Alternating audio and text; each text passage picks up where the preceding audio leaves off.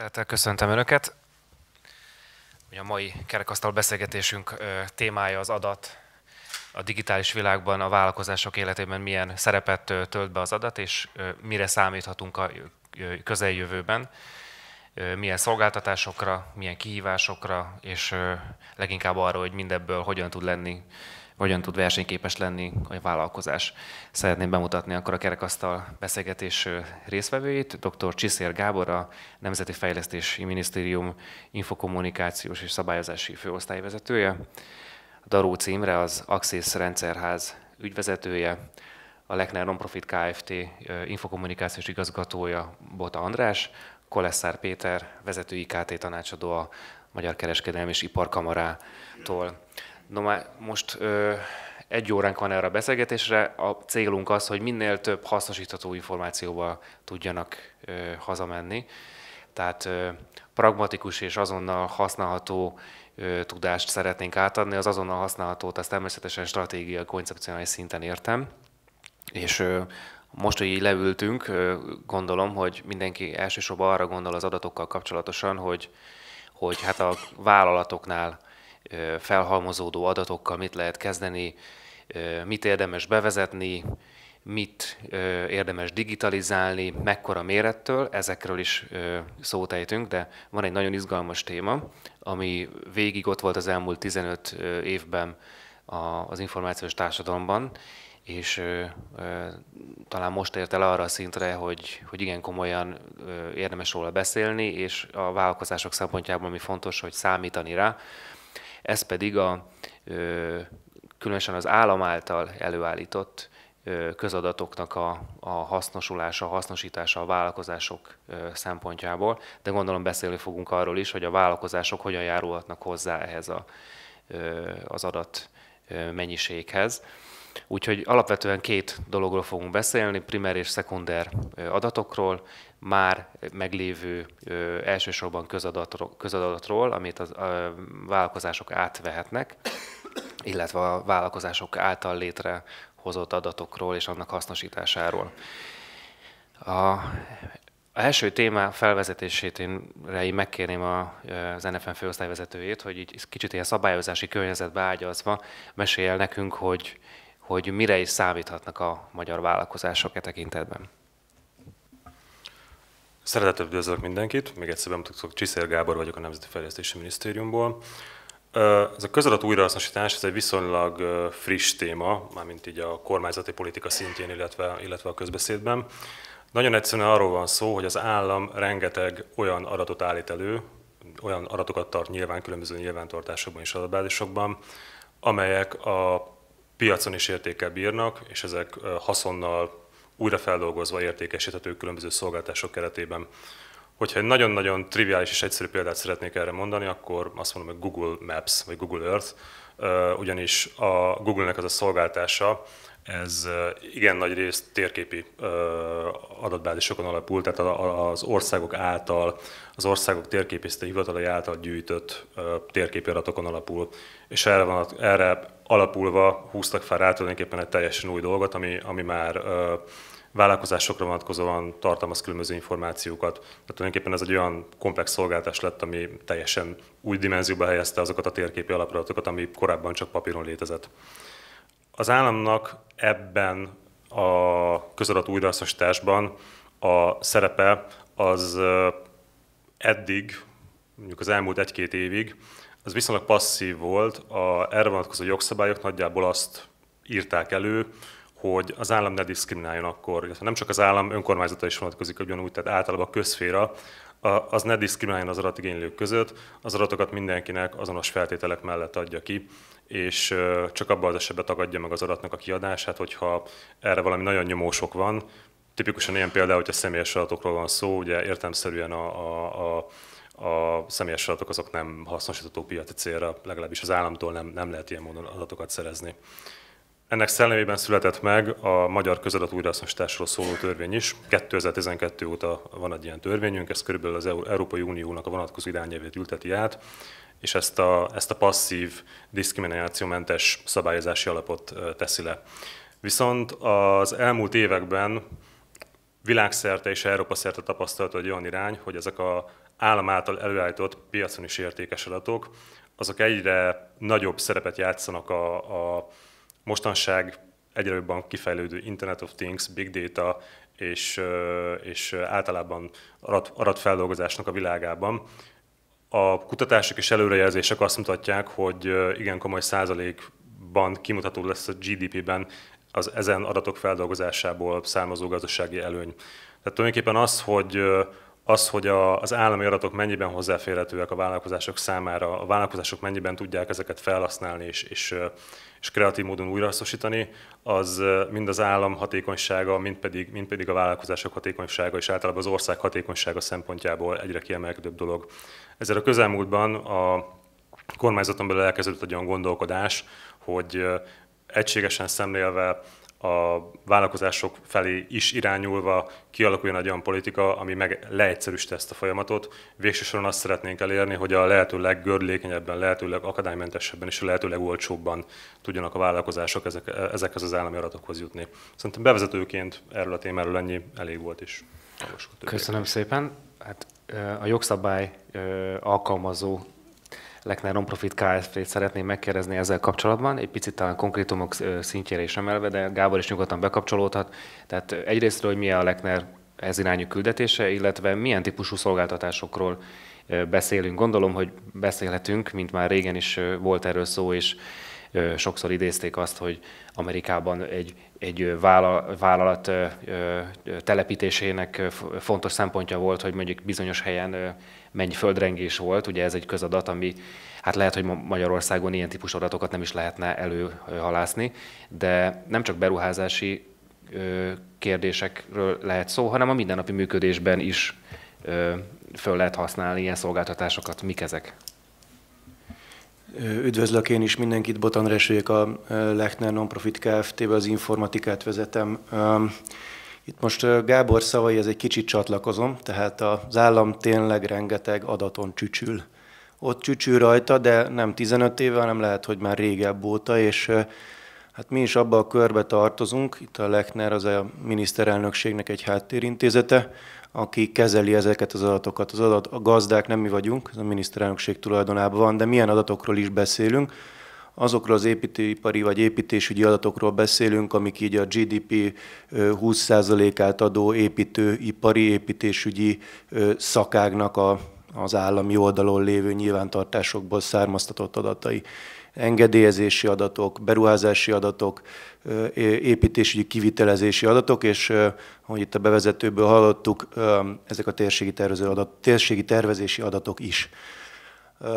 Tehát a Lechner ott csücsül ezeken az adatokon, mint adatkezelő, de az a kérdés, hogy szeretne vele valamit tenni. Na most az a helyzet, hogy egy ilyen háttérintézet, az pont az állam és a KKV-k, vagy az állampolgárok között áll félúton. Tehát mi vagyunk az elsők, hogyha valami az építésügyben nem működik, hibás adatigénylés van, akkor hozzánk jönnek ezek a felhasználók, illetve a KKV-k tehát nem, nem nagyon tudunk csücsülni. Tehát az a helyzet, hogy az lehet, hogy ez a téma friss, de a KKV-k irányából egyáltalán nem friss, hiszen napi szinten jönnek be hozzánk olyan adatigénylések, amik vagy első körben statisztikai adatigénylések, hogy mondjuk már meg, hogy Bács-Kiskun megyében hány darab energetikai tanúsítást adtak ki, nem tudom, kerületekre vagy adott térségekre lebontva.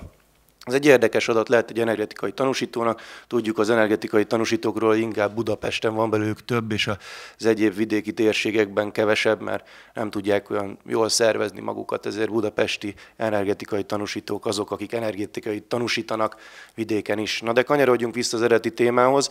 Tehát mi egy ilyen ösztűzbe vagyunk, egyrészt egy olyan háttérintézet vagyunk, teljesen őszintén elmondva, aki, aki próbálja értelmezni a szabályzást, de ugye nem túlszabályozott piacról beszélünk, túlszabályozott helyzetről próbálja értelmezni, és egyben a túloldalról meg kérdeznek tőlünk rengeteg adatot arra bűzdítanék egyben mindenkit, hogy nyugodtan tegye ezt meg, mert sok-sok olyan háttérintézet van, aki szívesen veszi ezeket a kérdéseket, és tudja tovább tolni az államigazgatás felé.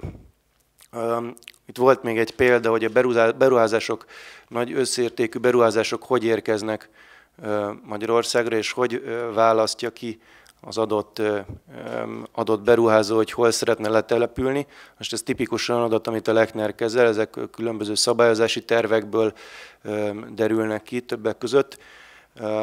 Egy érdekes példa, hogy a Tesla gyár, amikor volt arról szó, illetve mind a mai napig van róla szó, hogy hova költözzön ebbe a közép-kelet-európai régióba, akkor hát nagy kéztördelés volt, hiszen nem álltak olyan feldolgozott formában ezek az adatok nem, nem álltak rendelkezésre, hogy ezt egyből meg tudja mondani a magyar állam. Nyilván a Tesla kedvére ez gyorsan ki lett bányászva, csak még egyszer nagyon-nagyon fontos lenne annak a szabályozása, hogy az adatkezelő hogy adja a KKV-k irányába ezeket az adatokat. Mi ezért dolgozunk, eznek vagyunk az élharcosai, tehát hogyha építésügyi adat, vagy építőipari adatra van valakinek szüksége, nyugodtan kopogtassunk, segít, kopogtasson nálunk, mert majd segítünk helyre tenni azt, hogy ez kérheti-e nem, vagy milyen formában tudjuk odaadni. Nagyjából ennyit egyelőre, aztán majd Köszönöm szépen. Én egy példát tudok mondani, és így hagyd mutassam be magam más sapkában is. Egy, egy százfős gépipari cégnek vagyok az ügyvezetője. Egy, egy olyan példát biztosan tudok mondani, ami hát ha nem is állam, de, de szolgáltató, közműszolgáltatótól érkezik.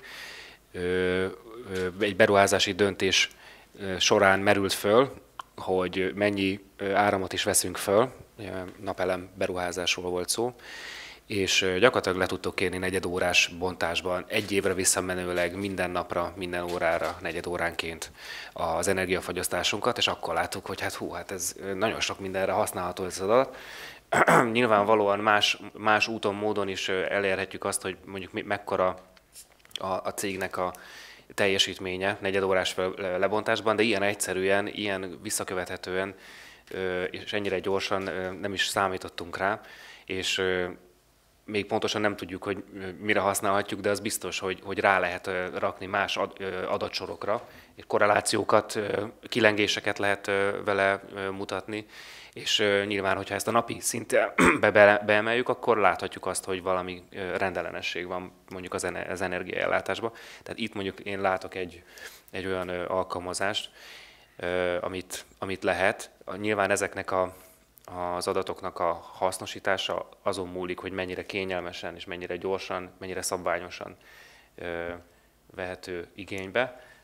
Péter ezzel kapcsolatban kamarának mi a ö, véleménye, illetve ö, küldetése, hogy, ö, hogy az adatok, elsősorban a közadatok, azok hogyan hasznosuljanak a vállalkozásoknál.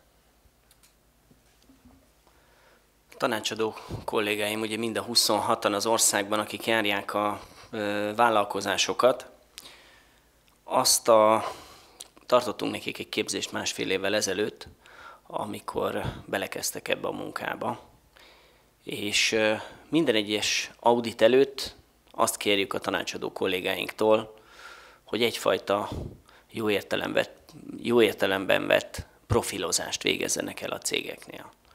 Hogy úgy menjenek ki a cégekhez, hogy van valami képük arról, hogy a vállalkozás mivel foglalkozik, milyen árbevétele van a cégnek, volt-e már bármilyen eljárás vele szemben, és egyáltalán találnak-e bármilyen adatot, amibe belekapaszkodva egyrészt személyes kapcsolatot tudnak teremteni a, az ügyvezetővel, vagy éppen a, a felkeresett kollégával. Vagy, vagy van olyan, amiben, info, amiben informatikailag tudnak bekapcsolni, például pályáztak-e már korábban hasonló területen, mint amiben mi is dolgozunk.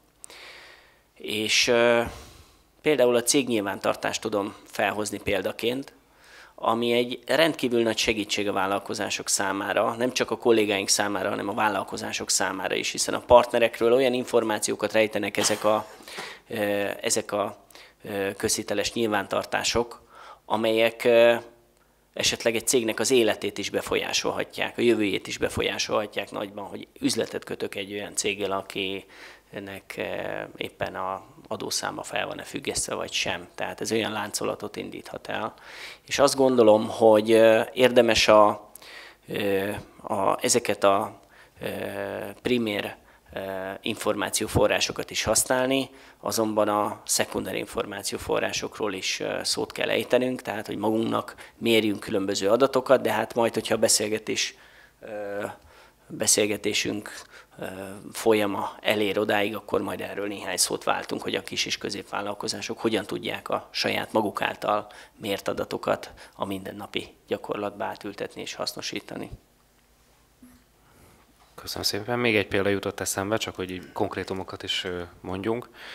A, az alapanyag gazdálkodás hatékonyságához mindenképpen fontos a, az alapanyag világpiaci árának követése, és ez a mi esetünkben korán sem egyszerű, hiszen nagyon sokféle alapanyagról van szó. Ezeknek az adatoknak a hatékony begyűjtése és a beszerzéshez való összehasonlítása az számunkra egy nagyon fontos dolog abból a célból, hogy lássuk, hogy mennyire ügyesen, mennyire hatékonyan tudtuk beszerezni az alapanyagot. A, ha ezek, ezek az közcélú adatok megvannak, akkor hogyan épülhetnek be a vállalkozások életébe, illetve még az lenne a másik kérdésem Taró Címrétől, hogy, hogy milyen igények merülnek fel a vállalkozások oldaláról szekunder adatoknak a beemelése kapcsán.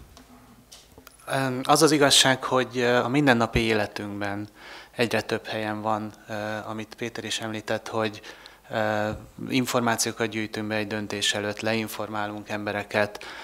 Én az ügyvezetői tisztem mellett egyébként értékesítési vezető is vagyok, jelenleg van egy értékesítési tréning a cégünknél, ahol, ahol például most tanítják a, a, a kollégáknak, hogy, hogy ezt a leinformálást különböző rendelkezés álló ilyen, ilyen nyilvános és kevésbé nyilvános adatbázisok tekintetében. Tehát, hogyha azt vesszük, akkor az emberek számára a LinkedIn, ott a, a, a munkaerő tekintetében az ugyanolyan, mint egy, mint egy cégadatbázis, igaz, hogy nem közhiteles, de egyre több nemzetközi gyártó is már úgy dolgozik, hogy ezeket a különböző adatforrásokat összekapcsolja. Tehát a CRM rendszereknél nagyon sok gyártó tekintetében előfordul az, hogy már social konnektorokkal van főszerelve, lehet a rendszereket úgy beállítani, hogy amikor, amikor a, az ügyfél előzményeket nézzük egy, egy KKV tekintetében is, hogy leendő potenciális partnernél, akkor a különböző közösségi hálókról ezek a rendszerek a nyilvánosan, illetve a különböző user belépések révén elérhető adatokat összesítik, egy felületen megjelenítik.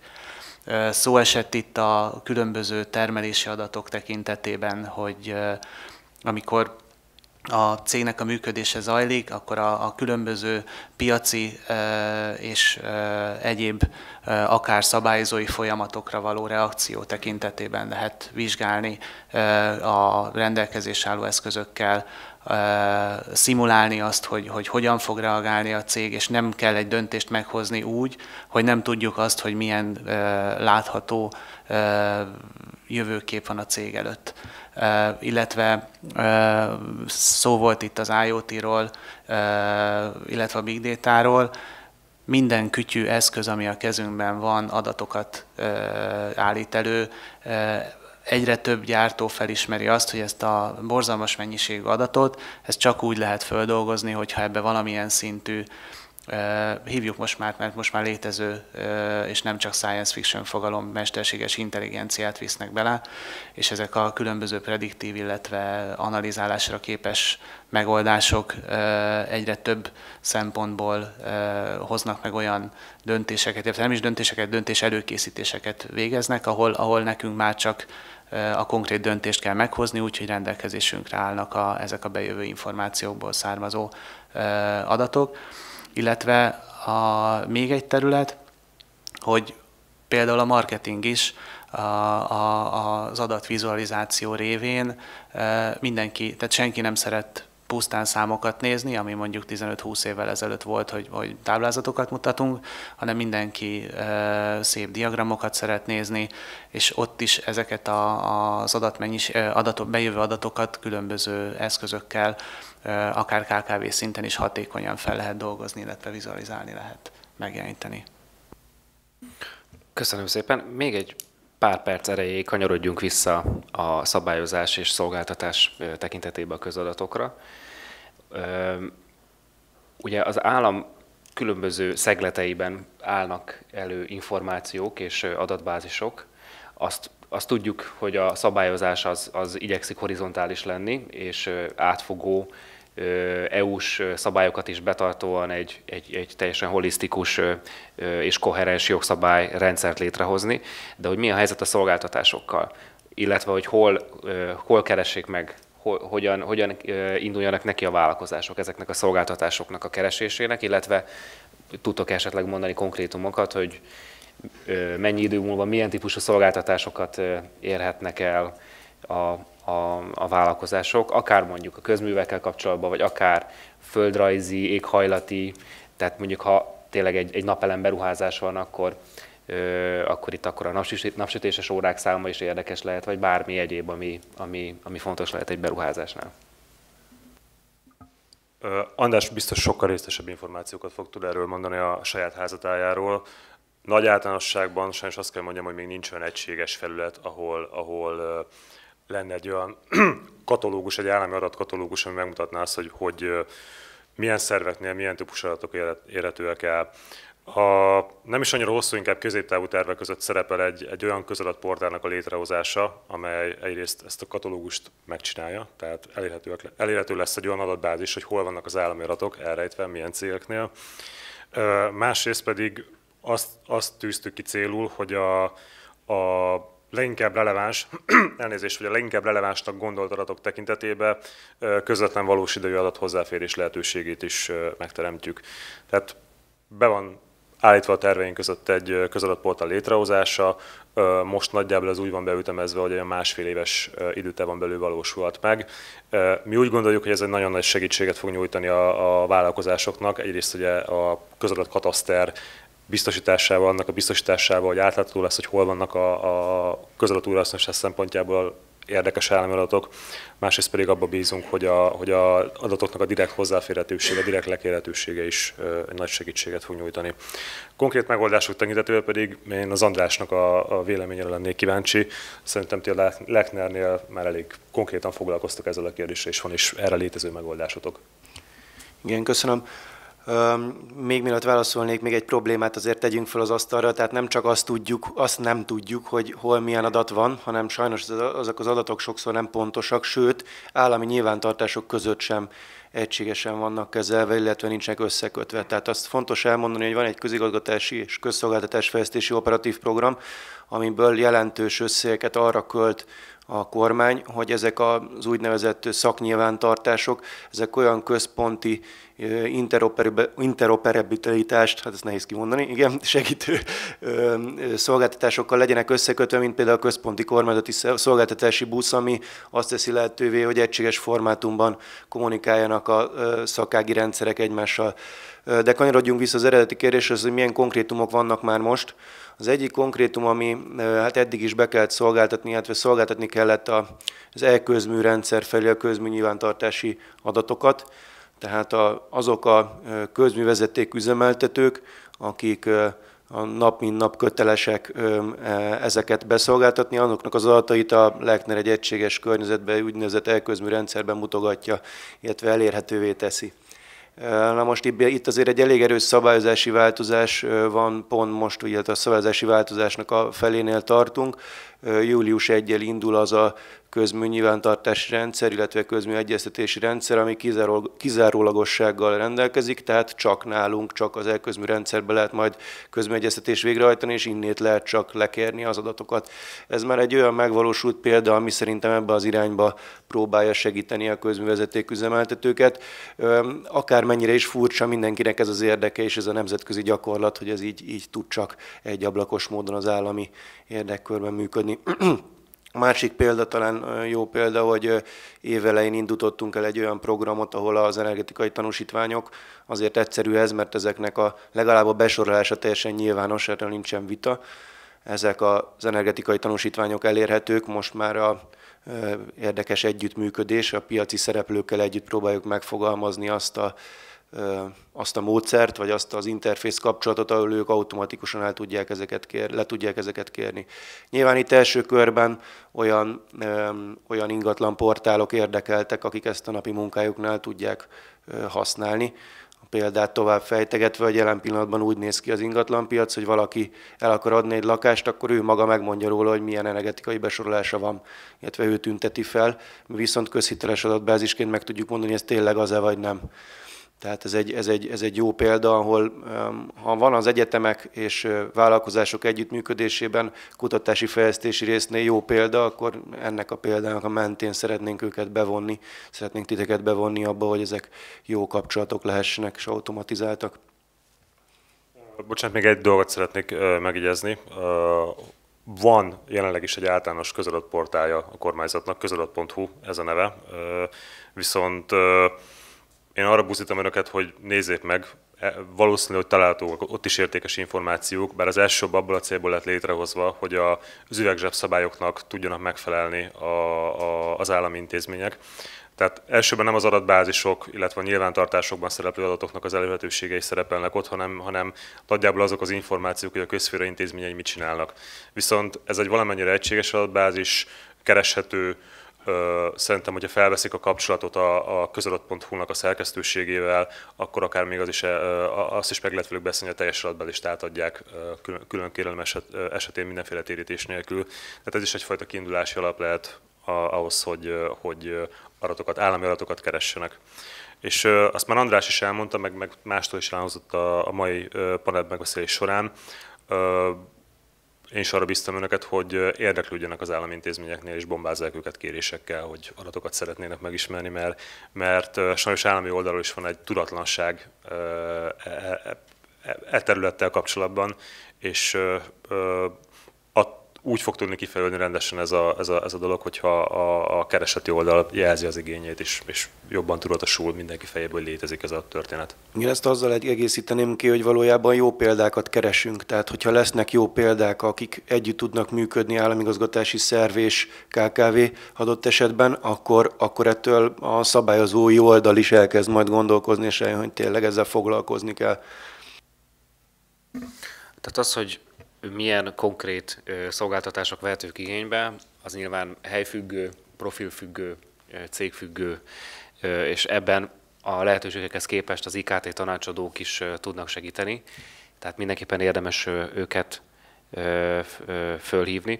Egyébként úgymond egyszerűbb, alacsonyabb szintű szolgáltatások is már gyakorlatilag szekunder adatfelhasználásnak minősülnek, tehát ha valaki mondjuk kiszállítást végez, akkor a, nem kell, hogy elővegye a város térképét és egyesével beírogassa az utcaneveket, tehát erre mód és lehetőség van. Én most pontosan nem tudom, hogy ezt a postától lehet megvenni, vagy melyik szolgáltatótól, de hogy igazából pontosan ezek azok a szolgáltatások, amikből építkezve legószerűen viszonylag gyorsan fölépíthető mondjuk egy kereskedelmi portál, vagy könnyen beépíthető egy termelése foglalkozó cég kiegészítő vagy egyéb szolgáltatásaiba. A, áttérve egy kicsit a, a primér adat, adatok kezelésére, nyilván az első, talán legfontosabb kérdés, hiszen KKV-król beszélünk, hogy, hogy KKV-knak milyen típusú adat, gazdálkodás a, a megfelelő mértékű, a, milyen mélységű kell, hogy legyen, hogy, hogy az pont jó legyen. Nyilván ez profilfüggő is, attól is függ, hogy mivel, mivel foglalkozik a cég, de hogy itt ül az asztalnál egy big data vállalkozó, szakértő, az azt mutatja, hogy a KKV-knak is érdemes ezzel a kérdéssel foglalkozni. Imre, nem tudom, hogy milyen tapasztalataid vannak ezzel kapcsolatban, hogy, hogy kik érdeklődnek, vagy kiket próbáltok rábeszélni arra, hogy, hogy és milyen szolgáltatásokat csináljanak, és, és jönnek ezek a ötletek be és mondjuk milyen vállalkozásoknak nem javasoljátok, hogy űrháborús tervet építsenek egy kisebb vállalkozásra? Igazából az a kérdés, hogy kinek milyen mennyiség adatra van szüksége, ez, ez teljesen szubjektív. Tehát ez a, hogyha azt az információigényt nézzük, hogy mondjuk a, a cégvezető mit szeretne tudni a cégéről. Természetesen vannak objektív... Bocsánat, hogy közben hogy erős a hipotézisem, hogy a vállalkozások, és talán pont is ez, ezért is ülünk itt, hogy nem tudja, hogy mire jó ez a rengeteg adat, nem, nem tudja, nem látja vannak, az előnyeit vannak, vannak objektív dolgok, amiknek meg kell felelni, tehát a különböző szabályzóknak, hatóságoknak való adatszolgáltatásokhoz szükséges minimális információ. Most ezt lehet úgy, hogy kockás papíron könyvelőnek elviszem az adatokat, úgy állítom elő, vagy már annyira megbízom mondjuk a vállalatirányítási rendszeremben, hogy kvázi ellenőrzési pontok beiktatásával, de tulajdonképpen automatikusan küldöm el mondjuk az adóbevallásaimat a cég tekintetében, illetve meg kell különböztetni egy területet, ami nem, ami, amit én most szubjektívnek tituláltam, hogy a termelés szempontjából ott a, ott a vállalkozás saját maga határozza meg azt, hogy milyen információkra van szüksége ahhoz, hogy finom hangolásokat el tudja végezni, megfelelően tudja paraméterezni a, teszem azt egy gyártósort, illetve mondjuk a, a piaci igényeknek megfelelő marketing kampány mentén hogyan tudja hangolni az értékesítését, és ezekhez különböző eszközöket tud használni. Az, hogy ezeket milyen eszközökkel lehet előállítani, egyébként úgy két, két részre tudnám venni. Az egyik az az, hogy a, vannak a pénzügyi jellegű információk, amit a controlling területek kérnek, illetve a, a, a gazdasági vezetés, illetve vannak a termelési jellegű adatok, és és akkor megkülönböztethetünk egy harmadik területet, ami, ahol a marketing már fel, feljött erre a szintre, hogy, hogy nagyon aktív adatfelhasználó, és ezeknek a, a mixéből áll össze az, hogy, hogy, hogy egy cég milyen jellegű, mennyiségű információt igényel a, a aktív működéséhez. Egyébként maga szektor szempontjából is, tehát vannak olyan ö, iparágak, ahol, ahol viszonylag kevés információra van szükség a működéshez, de ott is meglepődnének az adott cégvezetők, illetve a cégben dolgozók, hogyha ha látnák azt, és én mindenkit buzdítok arra, hogy ezeket az információkat, amik egyébként, amit András és Gábor is említett, ha ezeknek az információknak a, megpróbálják beépíteni a működésbe, akkor, akkor azért hatékonyság növelés érhető el, mert vannak olyan aspektusok, amikre alapból nem gondolunk, és, és hogyha ezeket az információkat figyelembe vesszük, akkor, akkor, akkor sokkal kifinomultabb, jobb döntéseket tudunk hozni elhangzott a Big Data. A Big Data még mindig Magyarországon gyerekcipőben jár, és egyébként nagyon kritikusnak érzem azt, hogy, hogy a korábban említett közadat portál, tehát amíg, amíg olyan felületek állnak rendelkezésre, ahol, ahol, ahol a, a humán interfész, az ember szépen tud böngészni és információkat nézegetni, addig ennek nem lesz tömeges felhasználása. Eh, ahogy ezek a felületek átalakulnak,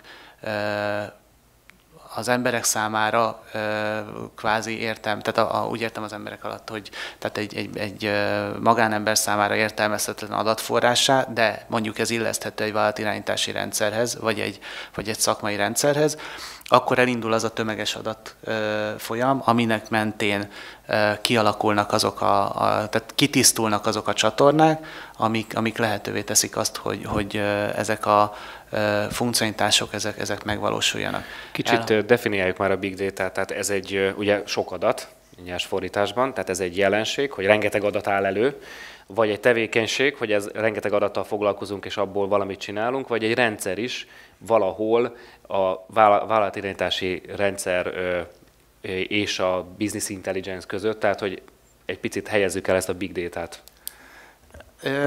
Mindegyik egy kicsit. Tehát, de beszélgető partnereimet is kérem, nyugodtan szálljanak be, hogy említettem az IoT-t, illetve borzalmas mennyiségű információt termelünk. Régen az elmúlt, nem tudom, 3-4-5 ezer évben ezeknek az információknak csak nagyon szűrt részét rögzítettük. Volt, hogyha nézzük az informatikát, volt egy időszak, amikor arra voltunk büszkék, hogy egyre több információt tudunk tárolni, elraktározni, és most már eljutottunk oda, hogy ezt a rengeteg információt megpróbáljuk felhasználni. Említetted, hogy, hogy például a, a áramfogyasztási adatok. Tehát, hogyha azt vesszük, hogy, hogy Magyarországon mondjuk van nem tudom a pontos számot, 4 millió háztartás. A 4 millió háztartásban van 4 millió mérőóra, ami másodpercenként a fogyasztási adatokat közvetíti a szolgáltató felé, ami egyébként a mi irányba haladunk, mert a szolgáltatók is ezt fogják bevezetni, akkor olyan bődületes mennyiségű adat áll elő, Ugye ezt rendes, mostani klasszikus eszközökkel, tehát betöltöm egy adatbázisba, és mondjuk egy Excel-lel megpróbálom kielemezni, lehetetlen. Ezekhez kellnek a különböző big data analizálásra alkalmas eszközök, amik nagy sebességgel elvégzik az adatminőségvizsgálatot, adattisztítást, és utána feldolgozzák ezeket az adatokat, sőt, tovább olyan prediktív elemzéseket is elkészítenek a korábbi felhasználói szokásokból, illetve a különböző korrelációk figyelésével, amik, amik alapján ennek a bődletes mennyiségű adatnak a feldolgozása értelmet nyer.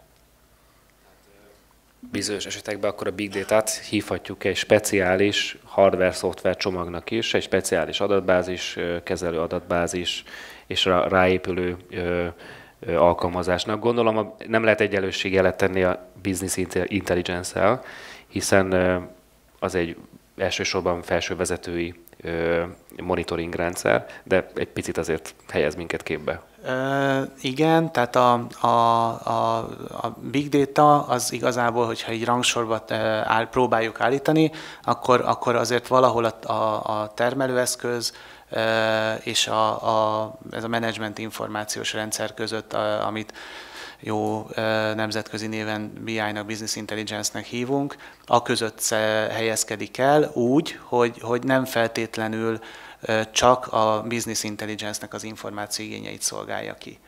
Mert, mint említettem, képes a marketinget támogatni, értékesítést, illetve akár visszacsatolni a termelési rendszer irányába is. Kik a legkisebb ügyfeleitek? Tehát mi a tapasztalatok alapján mekkora az a méret, ahol már beszélhetünk big data analizálásáról?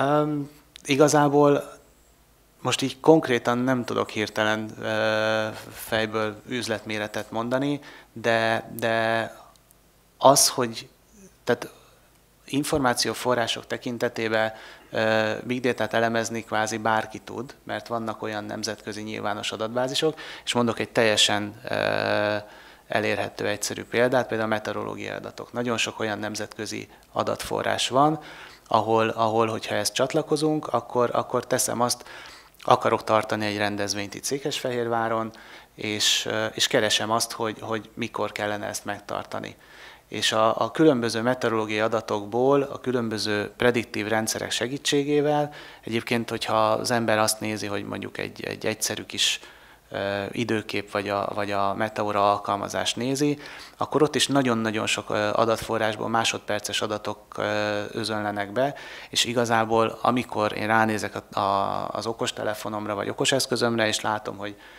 az elkövetkezendő két órában valószínűleg nem lesz eső, és jó lesz a rendezvény, akkor, akkor, akkor már én is big data eszközt használok.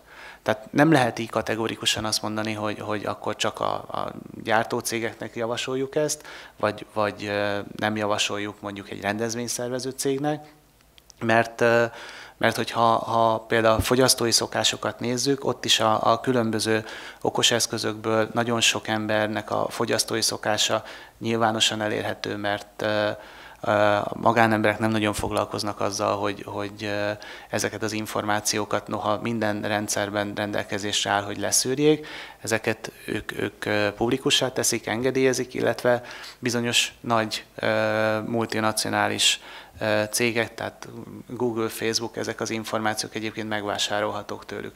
És ezért van az, hogy amikor belépünk, mondjuk a Facebook fiókunkba, akkor érdekes módon a korábban nap folyamán történt dolgok mentén borzasztó, néha valljuk idegesítő módon olyan dolgok jönnek velünk szembe, amiket nem tudjuk, hogy honnan tudja a gép, hogy azzal foglalkoztunk, de tudja. Na, emögött is big data alkalmazások vannak. Vagy nem tudom, bárki próbálja ki, hogy teljesen elvadult gondolat, hogy nem azt mondja, hogy gondol egy rózsaszín elefántra, elkezdi beírni a Google-ba egy rózsaszín, és a negyedik, ötödik talált között ott lesz, hogy elefánt. Tehát lehet Conteo hívőként azt mondani, hogy az eszközök figyelnek és elemeznek mindent, és a mondatainkat is figyelik, de egyébként a szokásainkból ezek mind nagyon jól kikövetkeztethetők. Hát igen, ez az a szint, amikor mint egy jó levesnél, hogy összeérnek az ízek, és nálunk is már gyakorlatilag szinte az a hozzáállás van, hogy mindegy csak rögzítjük, mert rögzítsük, mert úgyis valami haszna lesz, és úgyis ki fog jönni, hogy de jó, hogy akkor rögzítettük azt az adatot. Most még lehet, hogy nem is látjuk, hogy miért.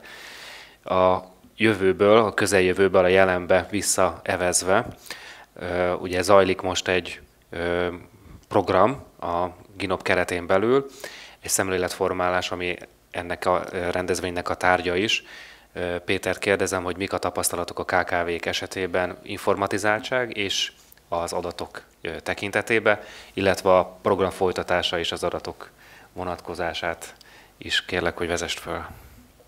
Igen, köszönöm szépen. A tanácsadó kollégáim által tapasztaltakhoz nyúlnék ismételtem vissza, mielőtt ezt a hosszú kérdést megválaszolnám. Minden esetben az adat feldolgozás kapcsán is, illetve a rendszerek bevezetése kapcsán is az egyik legfontosabb szempont a rendszerek ajánlása vagy kiajánlott fejlesztések tekintetében az a kérdés, aminek meg kell felelni, hogy hatékony és gazdaságos -e ez a adott vállalkozás számára. Ugyanez az adatok rögzítése, analizálása tekintetében is 20 évet visszamennék az időbe, amikor még analóg telefonközpontokon keresztül kommunikáltunk, vagy azokon keresztül 6-8 fős cégek számára is már elérhető volt egy, egy ilyen analóg központ.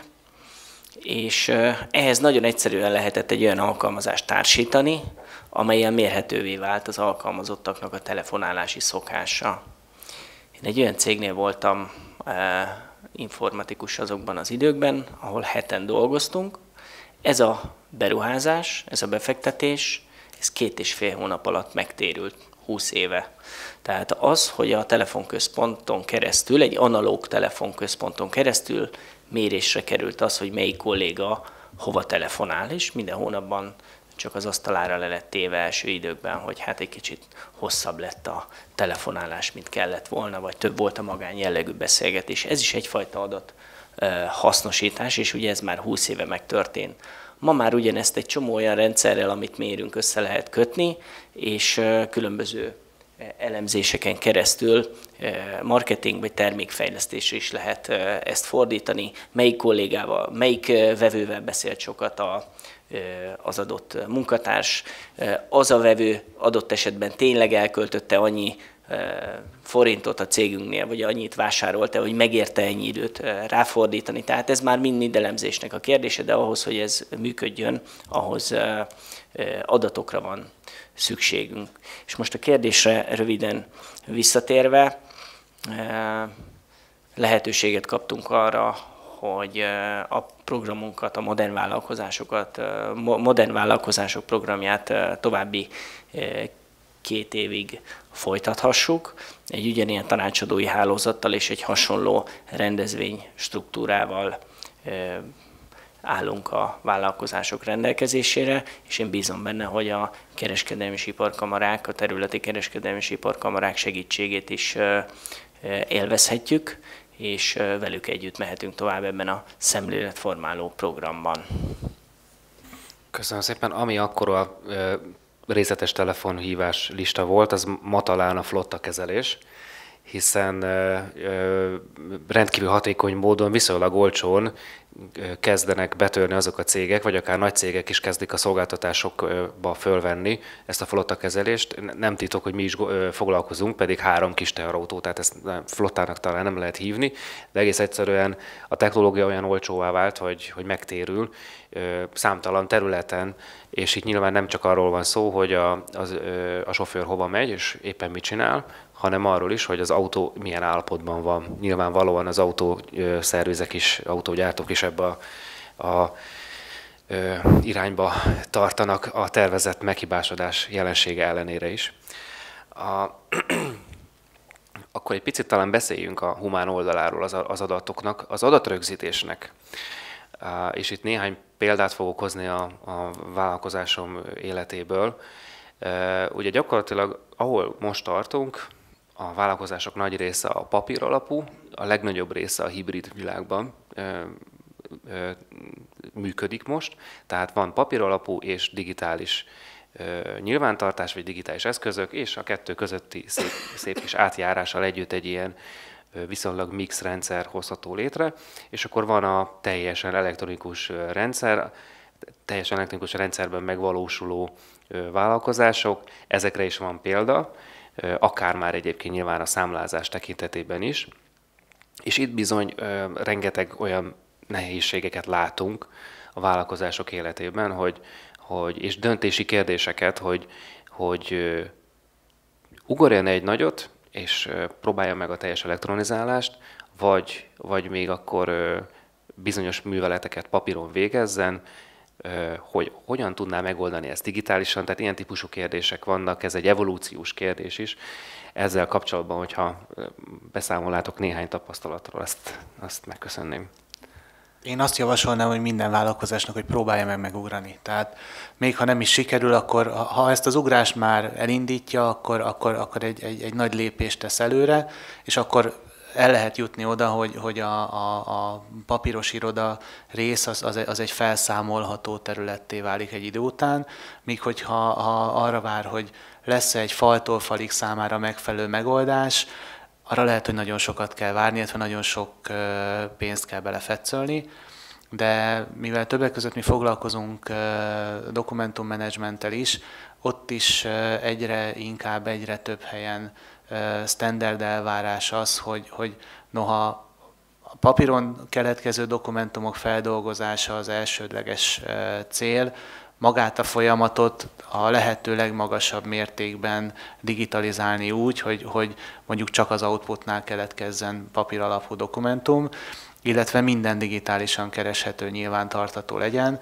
sőt olyan szinten, hogy, hogy már a, a beérkező dokumentumok feldolgozásánál is lehetőség szerint minden, minden kerüljön be, és digitálisan a, a szkennerek, illetve az alkalmazás ismerje föl, és utána megfelelő irodai ö, programban ne kelljen kinyomtatni, ne kelljen keresgélni, legyen integrálva az adott gyártónak az irodai programcsomagjába, és utána álljon el egy olyan, olyan információs bázis, amit természetesen igényeknek megfelelően összekapcsolva a vállalatirányítási rendszerrel teszem azt, az adott számlához, vagy az adott ügyhöz kapcsolódó valamennyi dokumentum néhány kattintással elérhető legyen, kereshető legyen, és mindez természetesen úgy, hogy a, a manapság már megszokott predikciókat figyelembe véve, tehát szabadszavas kereséssel keressük a, a dokumentumokat, és egyre jobban szűkít, és a végén lehetőség szerint az a dokumentum esik ki a rendszerből, amit, amit elkezdtünk keresni. Javaslod ezt nem zöldmezős beruházás esetében is? Tehát ahol bele vannak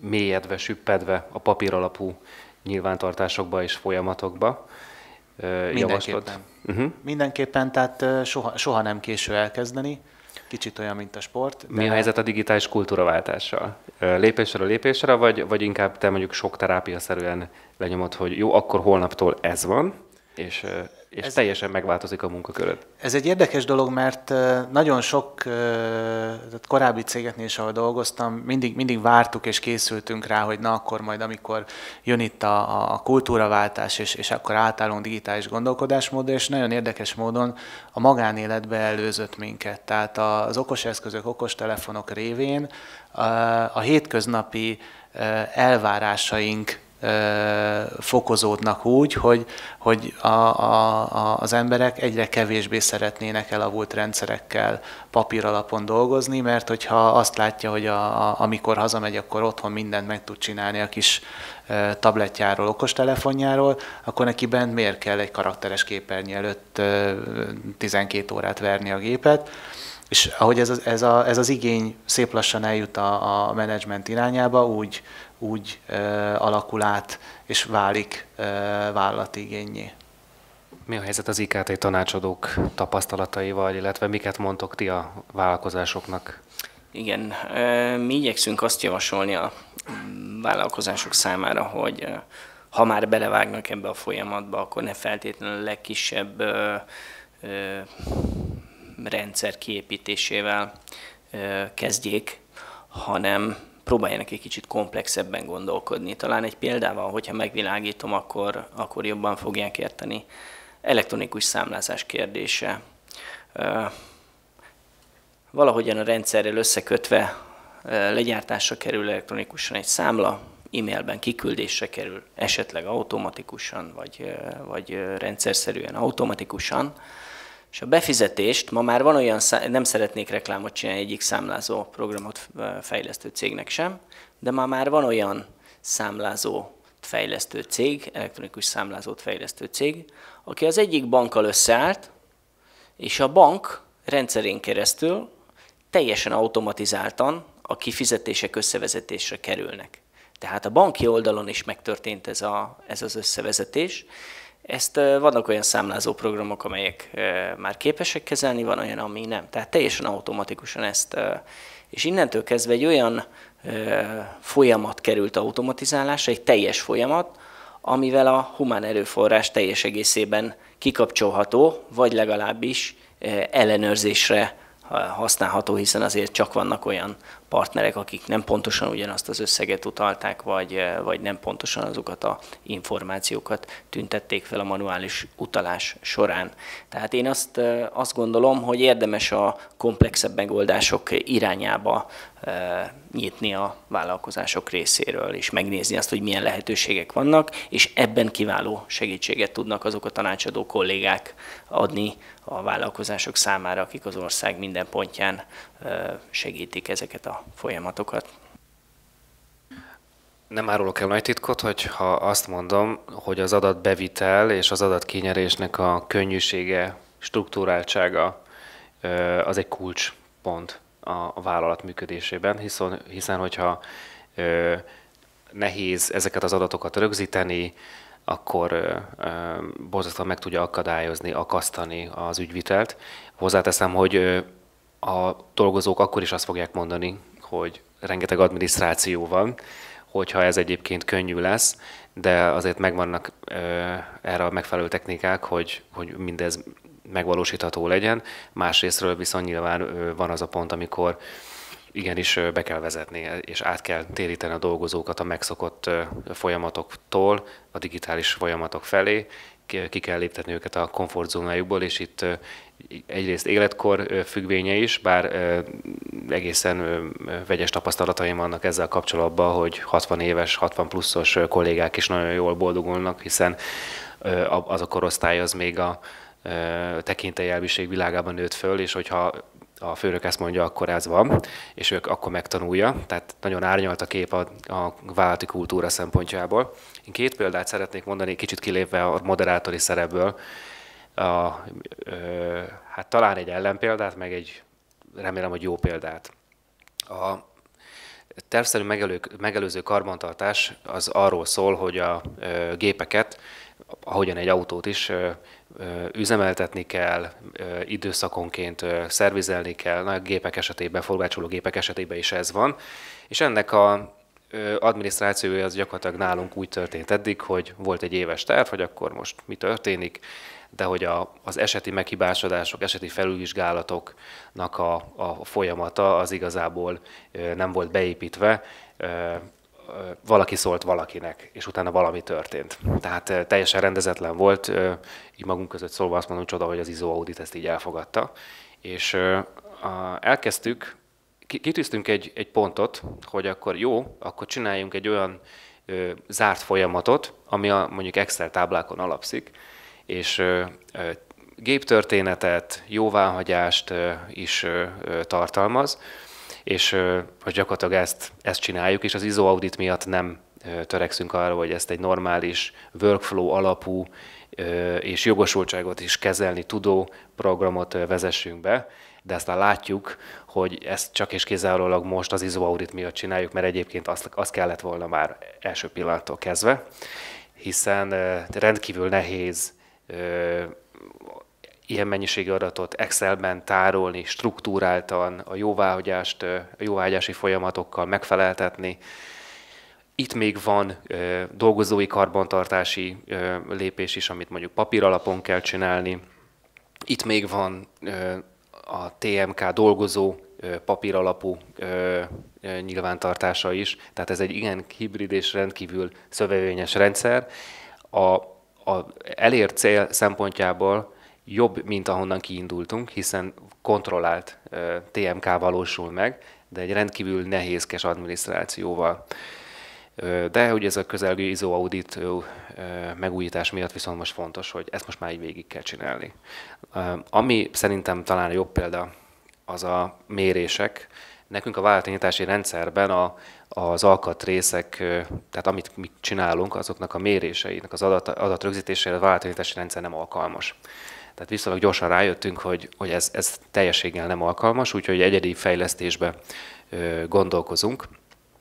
És ráadásul itt a mérés nem csak a, az erre szakosított minőségellenőrzési osztály kell, hogy csinálja, hanem a dolgozó, hiszen a gyártásközi ellenőrzésnél is nagyon jól kijönnek hibák, és sokkal hamarabb meg lehet fogni, lehet korrekciózni. Jelenleg a gyártásközi ellenőrzésre semmilyen fajta adminisztráció, meggyőződés nincs. Egyetlen egy eszközünk lehetett volna a kamera, aminek a feldolgozása viszont nagyon nehézkes. Most ki fogja nézni, hogy 50 gépen tényleg mére az a dolgozó. Úgyhogy elkezdtük feldolgozni a cikkeket, és létrehozni egy alapadatbázist, hát adatbázisnak nem hívnám, struktúrált Excel táblákról van szó, ami majd alkalmas lesz arra, hogy beöntsük az adatokat, és gyakorlatilag dolgozói mérőlapokat hozzunk létre, és ugye itt az volt a cél, hogy minél kényelmesebb adatrögzítést valósítsunk meg. Papír alapon erre már van példa, hogy a szegény dolgozónak ne kelljen beírni azt, hogy átmérő 14,003, hanem ha van egy tűrési mező, mondjuk 13.9-től 11-ig, akkor a százados vagy ezredes skálán gyakorlatilag csak egy x-et kell, hogy odarakjon ahhoz az értékhez. Tehát ezt meg lehet valósítani, hozzátenni a munkába adás folyamatába ezt a mérőlapot, és akkor kinyomtatva a dolgozó ott egy papíron gyakorlatilag megvalósítja az adatrögzítést.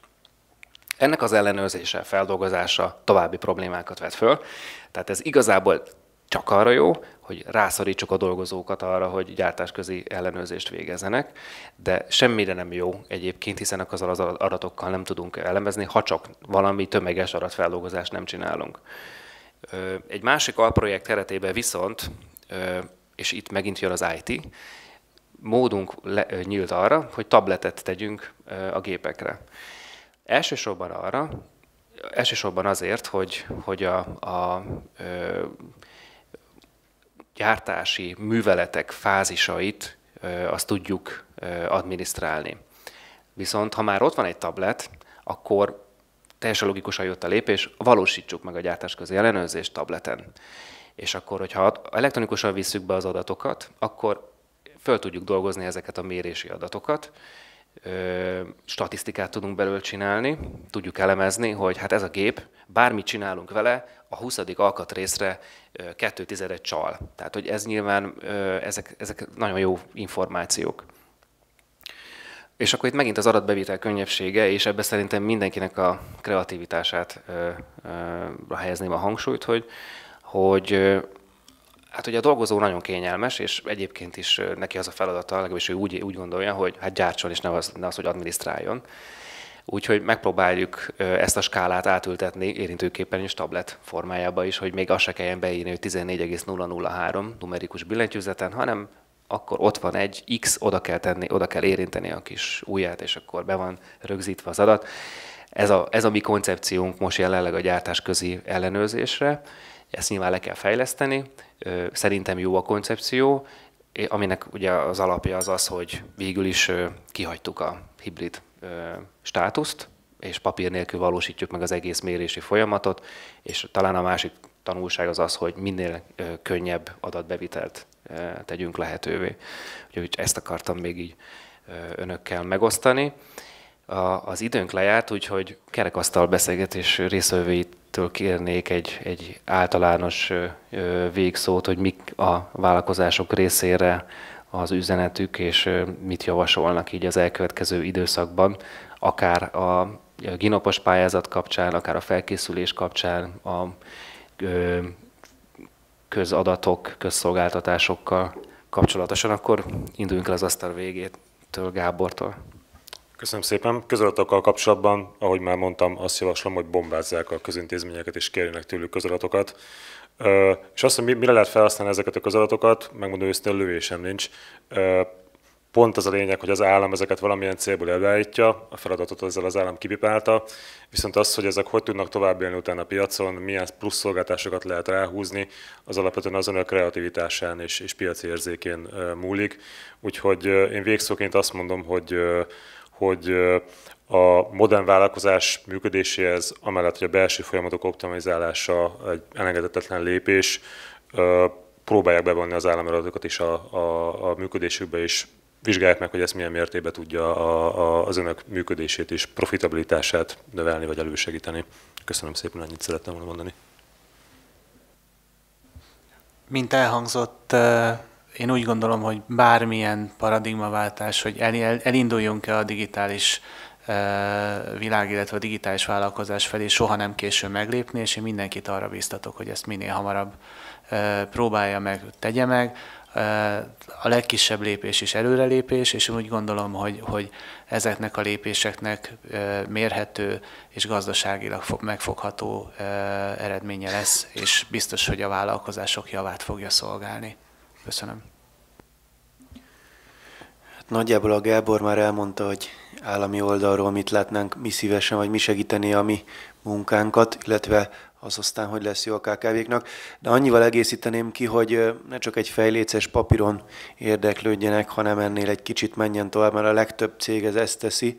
Egy fejléces papíron kéri, hogy na most kérem 2016 első fél évére, hogy nem tudom hányan kiviteleztek Györmoson Sopronban, ne ez, ne ez legyen, hanem, hanem ennél, ennél menjen nyugodtan, próbáljon meg a KKV nagyobbat álmodni, mert állítom, hogy sok-sok háttérintézet pont ezt keresi, ilyen, ilyen adatkérőket keres, akik egyen jobban vannak felkészülve talán, és egyen nagyobbat mernek álmodni.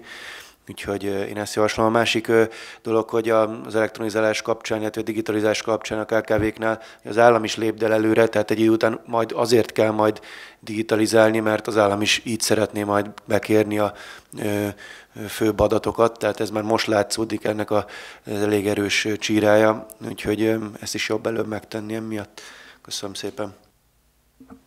Én arra biztatnám a vállalkozásokat, hogy tárják fel, hogy milyen információforrások állnak rendelkezésre, a saját folyamatainkat optimalizálják, mérjenek, az adatokat elemezzék, de csak addig a mértékig, hogy még gazdaságos maradjon az a, a elemzés, illetve az adatgyűjtés folyamata, tehát ágyúval azért ne lőjenek verébre.